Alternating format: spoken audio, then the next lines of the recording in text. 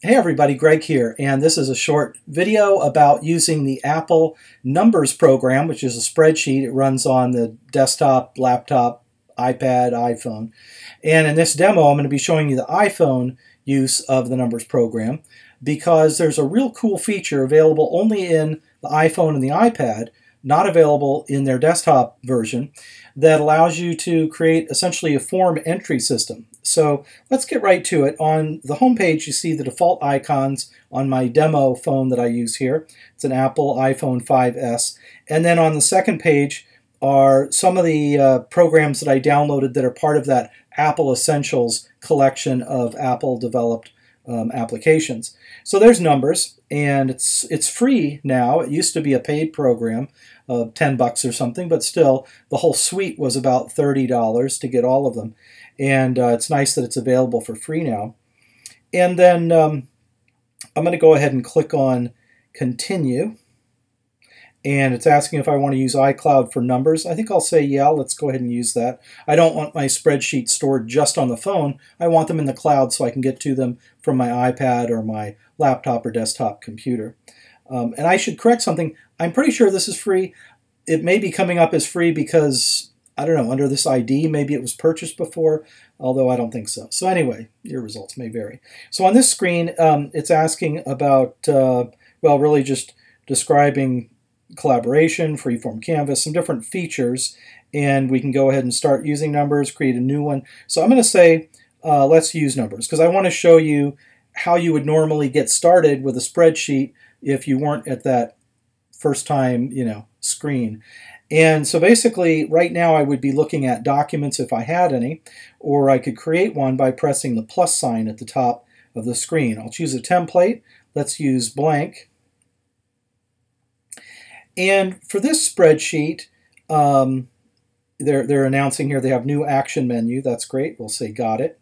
Uh, that's, that's down here where you can tap that. And it's supposed to be a context intelligent suggestion menu, which is kind of neat. Uh, but for now, we're going to move that out of the way.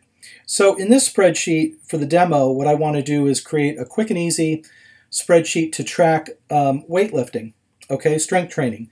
And um, so we're going to have the date, and let me just get started here, you know, from, from left to right. Keep in mind, you usually want to have going down your rows in a spreadsheet, you want those to be like records in a database or like index cards with information on them. So let's say on a certain day you had a certain workout. So for each workout you do, you'd have a three by five index card, right? So that's the idea. In a spreadsheet, the rows are those individual entries, the names and addresses or whatever it might be. So um, at the top here, I'm going to zoom in and I'm just going to say, let's have the date be that first row. Date and time, I'll say.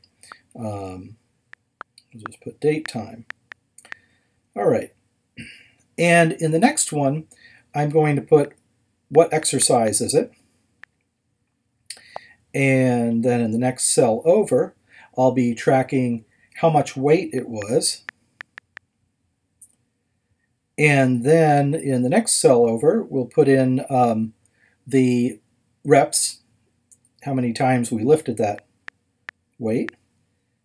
And in the next column over, I'm going to say sets. So, you know, I'll, let's say, lift a certain weight 20 times, and then I'll take a break, and then start again. So that starts the next set. Um, and I'm gonna I'm gonna refer actually to my own spreadsheet just to make sure I'm creating this properly. so here we go.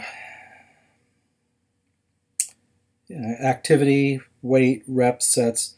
Oh, and total. So we can calculate the total in our spreadsheet by uh, of that particular workout. I'm just going to say, okay, this cell is going to be equal to um, you know, whatever the reps were times however many sets there were. So if I lift it 30 times and I do that twice, so that's, you know, 60 times the, the sets, and then um, times the weight that was lifted. And we'll go back and find that. There. And you'll see that's going to give us an error symbol initially. Um, but that's the formula that we want copied down.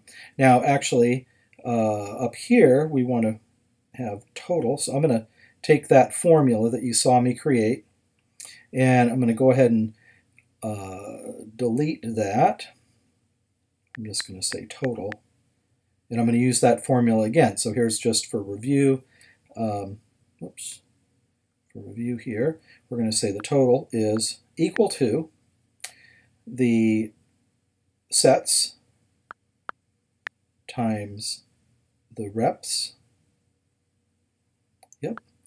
And then times the weight. And then I'll press the check mark there. So that's a simple formula, but very handy. And then we can get a grand total of a complete workout at the bottom. You know, if we go through our workout, we want to see what's the cumulative total of weight that we lifted, we can do that. So anyway, uh, let's see, what else? Oh, and location is nice to have because the reason for that is if you work out at a few different gyms, you um, will have slightly different weight machines. So even, you know, one a leg press at one location won't be the same as a leg press at another. And if you're using your spreadsheet as a reminder of, okay, what was I at last time on this machine, and you're at these different gyms, you want to know, oh yeah, it's it's the leg press at this particular gym where you know you lift slightly more, slightly less, depending on the machine. And then this last column I'm just going to dedicate to notes. Okay, so there's the basic you know structure of this spreadsheet those columns that we just talked about, and uh, the first one being date, and etc. So here's where this gets kind of cool, and that is the ability to create essentially a, a data entry system, which is a lot faster and easier than you know just typing everything in on a tiny phone, right? Um, so let me first go to our location field and we can take that location field and turn that into a drop-down menu. So to do that, I'm going to say, okay, for this column, I tapped on the G to highlight that column. I'm going to say, let's format that um, to be, and I'm going to see what my options are here, and cell format, ah, format, pop-up menu. So again, it was select the column, we go to Format, choose Format, and then choose Pop-Up Menu. And with Pop-Up Menu, now we can have a variety of options here. So location, add a location. I'm going to say one option is just the home gym, you know, lifting at home. Um, the next option is going to be downtown. There's always a gym downtown. So there we go, downtown gym. And finally, west side just as some examples. okay. And there we go. So the locations above, and you can have an initial value selected. I'm just going to leave that alone. So let's go back here. So now the column header still says location, but when we tap on that cell to enter something in, we don't have to type in downtown. We can just tap downtown. There it is. Um, and, and for anything else like that, if there are some particular, um, and here I call that column exercise, I'm going to call it activities. There we go. Um, so if there's some particular exercise activities that you do all the time, a couple of dozen, well then you can go ahead and select that column, go up to the paintbrush, which is the format menu, choose format from the heading across there, and go down to pop-up menu again and start adding some items in here. So leg press, um, and then you know tricep uh, pull. So maybe you're pulling down this way. Um, that's making a correction there. Triceps plural. That's fine. Um, let's see leg extensions. Okay, so it takes, you know, takes a little while to get your thing set up for your different locations, your different exercises. One thing you can do is go ahead and keep those alphabetized. You can kind of grab these items and adjust their position in the list. And when you're all done, press the format here to go back a level. And then you can tap on that triangle the downward pointing triangle, that'll just kind of make that format menu disappear, and then tap anywhere to just get back to looking at your spreadsheet. So um, now what we want to do is, instead of working with a spreadsheet on such a small screen and having to scroll left and right, we can tap on the plus symbol and we can choose new form. So we're going to have a new form and it's going to be based on the spreadsheet that we just created. So I'm going to tap on where it says table 1 and now it creates this, um, this entry system. I can tap and hold on that tab there and bring it to the left and I can double tap on it and I'll just rename it to entry. So I've got my entry and then I'm going to tap over here on the spreadsheet and I'll double tap and rename it. Here we go. Um, to you know strength training or just strength. There we go. Tap again back on the entry form. So that's how we get back and forth between the entry form and the spreadsheet. And mostly you'll be in the entry form. You probably won't even you know, bring up the spreadsheet to do much work on that until you're on your desktop computer. You won't see the form entry on your desktop computer. You'll only see the spreadsheet, but as soon as you go back to your iOS device, you will see that entry form there on your iPhone or uh, iPad. So here, when I tap on Activities, now we get this menu that pops up and it has all of our exercises there. So this becomes a very quick way of tracking your workout because once you've created the spreadsheet, now it's just a matter of going to the next machine. Okay, I'm doing leg extensions and it's going to be 40 pounds. Um, I'm going to do that, uh, you know, 30 times. And let's say this is my first set, so we put that in. It's calculating the total of 1,200 pounds. Um, it's saying downtown because I entered that before, but let's say uh, I'm doing that, uh, you know, on the west side or whatever. We can just, you know, you pick whatever you want, and then it uh, applies that. Now, one thing you'll notice is when you are done here, you go ahead and tap done. You can go ahead and click. Oh, I didn't put the date in. Also, let me get the date at the top there. I don't have to put in the whole date because today I can just put in the time. So let's just say uh, it's 941. All right. And uh, I'll say done. So now we go to the next record. And as I go to enter in the title, uh, actually here, let me do the weight. We can define those cells so that the right keyboard comes up. Let's go back to the spreadsheet. For date and time, I'm going to say we want to format that as date and time. And um, to get a little more detail on that, I can tap the I and I can specify, yeah, let me do year, month, day. I want to do just um, a 24 hour time format. So 108 is, uh, is 108 a.m. And so that takes care of that first column. And then let's go to our weight column and let's format that weight column to be a number and I can tap the I. I can say number, but I can tap the I and choose uh, maybe one decimal place if I want to have perhaps you know a half a pound in there. Um, so that's that's good. And then the next column over, which was reps, same thing. We'll format that as a number.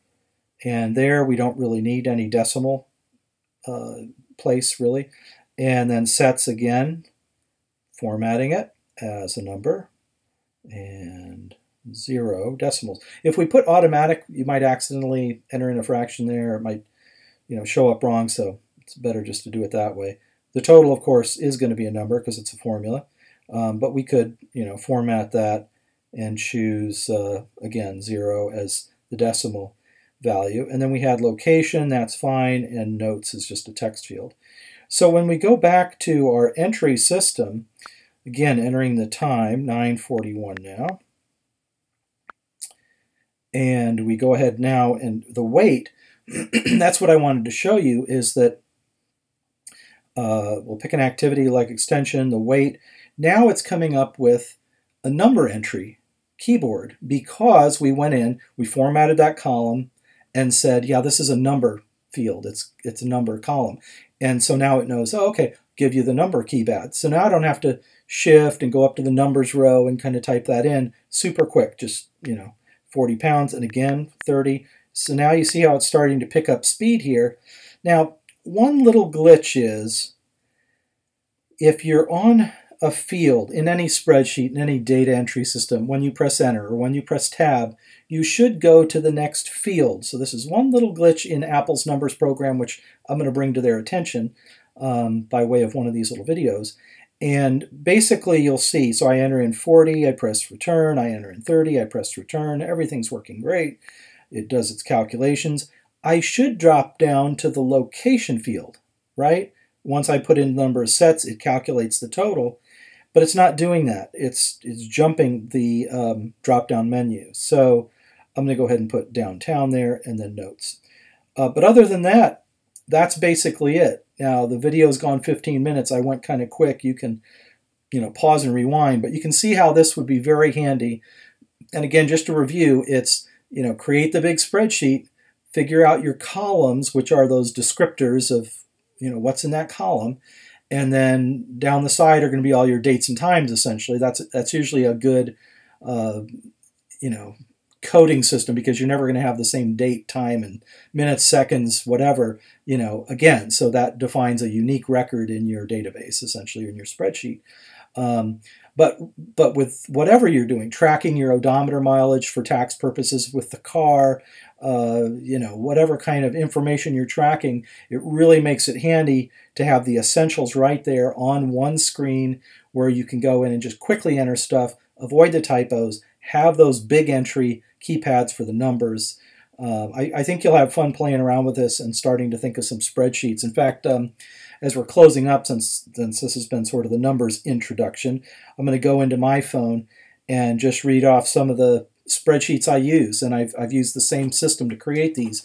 So uh, there's one for the car, and it has, you know, date, um, the starting odometer, the starting location, and then the stop date, stop odometer, stop location, and it calculates the distance.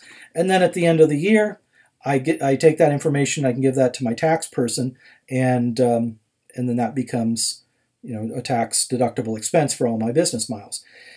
I have a spreadsheet I call body composition. You know, there are these composition scales. You can measure your weight, your body fat, your amount of bone mass, water, etc. And so yeah, I do that once a day. I just enter it into the spreadsheet, and I have um, it, it's motivating because you can see progress on these different areas: uh, percent body fat and, and muscle. Uh, it gives you a physical rating. The scale that I have, it'll calculate your um, calories burned, and that changes, right? So as you get more muscle mass, you're going to burn more calories in a day, and that's kind of rewarding because you can see, hey, my weights workout uh, is putting on muscle mass, which is, regardless of what I do, going to cause me to burn more calories every day, even on a day that I don't work out, right? So, which hopefully is not going to happen. I hopefully I don't skip my workouts. But uh, so that's a spreadsheet, body composition. Um, and then I, I, keep a health spreadsheet, and that I, I put in just the summary, like the weight and body fat, let's say, into that spreadsheet, and also how much sleep I get at, at night, or uh, you know, some things that are interesting to measure, like your body core temperature, uh, ideally, you want that to be kind of high. You don't want your body temperature to be cool. Um, and there are things you can do to keep your body temperature high. Uh, blood pressure, you can measure you know, your glucose, whatever you want to do, you drop it in this spreadsheet. Then you get some actual measurable data that you can work with if you're trying to improve your health. And you can see, okay, here are the outcomes I want here's the data I have, this is what I'm doing, here's how it's impacting the outcomes, you know, and it gives you a more effective way of, of having a better health program. And uh, like the car spreadsheet, I also have a bicycle log. So it has the date of the bike ride and what was the start odometer, what was the start location, what was the stop date and time, what was the stop odometer, stop location, what was the distance. So I can calculate how much, how many miles did I ride this month? very easily. Just look at the spreadsheet. Um, I break it down into personal and business. So if it is a business related uh, trip, whether it's by bicycle or by car, you know, I track that. Um, and then with the bicycle spreadsheet, I keep track of whether it was a difficult ride, uh, it, it, or how much energy, how much effort did I put into that ride. So, um, you know, did I ride really hard or easy? and then the, the route intensity. So I may have been riding pretty easy, but it was a pretty difficult ride in itself just because of a lot of hills or whatever. Um, and then I track the weather and the route description because I might take two different routes getting to a location. Part of that helps me just estimate my time of arrival. If I'm going somewhere to do some consulting work, I'll know ahead of time, oh, okay, that usually takes about 40 minutes to get there or whatever. Um, and uh, whether or not there's a lot of hills and, you know, equipment that I might have taken for that particular ride. So um, anyway, so that's the uh, the bike one. And let's see what else. Equipment inventory, just there. I, I have a separate spreadsheet for computers because computers are sort of unique when I keep a spreadsheet of all the different computers I'm working on, whether they're mine or they're for a customer. I keep track of the serial number, what operating system it has, you know, some other details about setup, what tasks were performed during setup. Um, and so that's that's a spreadsheet dedicated to computers. But outside of that, what about computer displays? What about printers? What about TVs? What about all kinds of electronics? You know, that's another sort of category that doesn't have an operating system. You're not going to have updates or special software installed, but you want to keep track of serial number, make and model, value, that type of thing. So it's good to have an equipment inventory and a separate, I think, a separate computer inventory. Um, now, I also have a spreadsheet for video production. That is the biggest spreadsheet I have. And the reason is because there are a lot of tasks required to produce a video, um, depending on what kind of video it is. So I'll have notes relating to what program was used to originally generate the video. You know, was it iMovie, Final Cut Pro, uh, ScreenFlow recording like I'm using now? You know, I'll keep track of that. I'll keep track of where it was posted just in case I need to go out and do an update. I might have a version on YouTube, a version on Vimeo. Um, and then, you know, what text was used to post that video. So if I want to post it somewhere else and I need the embed code and the description and the title and all that, copy paste, it's very easy. I've got it for future reference. Or for some reason it gets deleted by accident or whatever. So anyway, there's just a lot of columns relating to uh, you know, what playlists they're added to, what keywords were used with the video. There's a lot of data related to a, a video when you're really doing a, a, lot of videos and producing them. And you want to make sure everyone's gotten through the full workflow, right? So there's one that you're halfway done on. There's another one you got to push ahead in the queue, and you know. So uh, anyway, that's that's video production, and uh, coupons also. That's just one I don't really spend a lot of time on, but uh, sometimes you get like a, a gift reward cards worth $100 or whatever, and you want to keep those with you and you want to use them when you're at the store. Otherwise, a year goes by and you've forgotten about it. So I try to keep track of what coupons I have and, and uh, what their value is. Time tracking, I'll sometimes track different activities for work or, or just to see how much time I'm putting into my workout versus, you know, whatever else. So, um, and uh, got a bunch of others too, but those those are the main ones, and uh, that'll just give you some ideas of the kinds of things. Oh, one other I should point out is boxes and storage. So everybody's got stuff, right? And you can see behind me, I've, I've got some boxes on the shelf back there. So everybody has stuff, but if you number those boxes, have a column that's box number five have another column with what's in that box and i don't i don't mean like the full description you could do that but if you list particular items right and so it's what's the date, you know, that you're creating this, the date, the box number, what's the item. Then eventually over time you'll end up with, you know, 30 boxes, let's say, and a lot of stuff in a lot of different boxes. But now you need to find that, you know, special cable or cord or whatever, and you're wondering where is it in all those 30 boxes? Well, go to your spreadsheet, do a quick search, and you'll see, oh, okay, that VCR cable or whatever, DVD cable or, you know, HDMI cable um, or extra DVD drive or whatever it might be, you know, is in box number 28. Um, so anyway, that's that's kind of a good one to have. And another one is measurements. You could probably keep that in a text file, but I keep uh, a spreadsheet of measurements so I know what my the different rooms how how they measure out if I'm going to be buying some piece of you know furniture or whatever. I, I want to be able to have those measurements handy. Measurements of the windows at home, uh, measurements of, of desks, and particularly if I'm working on a woodworking project, um, I want to have measurements that I'm going to type in there for different pieces of wood that I want, and it's just handy to have it in a spreadsheet. So Anyway, I won't go on and on, but that's uh, that's an example for you of some of the spreadsheets I use, and, and now that you've seen a little bit about how to create your own numbers uh, spreadsheet and use that form entry, I hope that you'll uh, take advantage of that. And let me know if you have any questions, comments, suggestions, ideas for future videos. Always appreciate those. And uh, have a great day.